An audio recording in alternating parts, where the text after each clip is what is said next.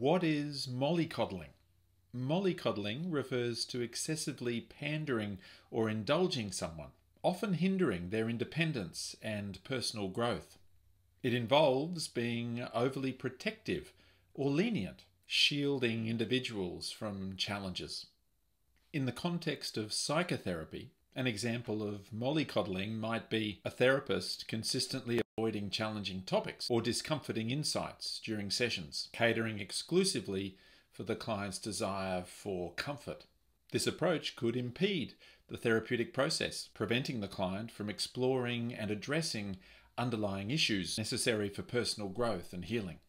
Is this compassion